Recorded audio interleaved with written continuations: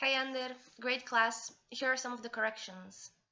So, agua con gas, sparkling water, sparkling water, incómodo, uncomfortable, uncomfortable. Um, hoy no he comido nada. I haven't eaten anything today. I haven't eaten anything today.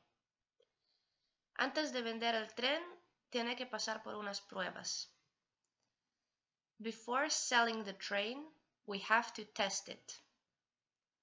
Before selling the train, we have to test it. Um, tienes que mirar a la persona en la frente. Uh, you have to look at the person's forehead. You have to look at the person's forehead. Um, okay, so we had the um, phrasal verb uh, to end up doing something. Um, so, for example, ayer queríamos salir, pero acabamos quedándonos en casa. Yesterday we wanted to go out, but we ended up staying at home. Yesterday we wanted to go out, but we ended up staying at home. Um, then we have uh, estoy acostumbrado. I am used to it. I'm used to it.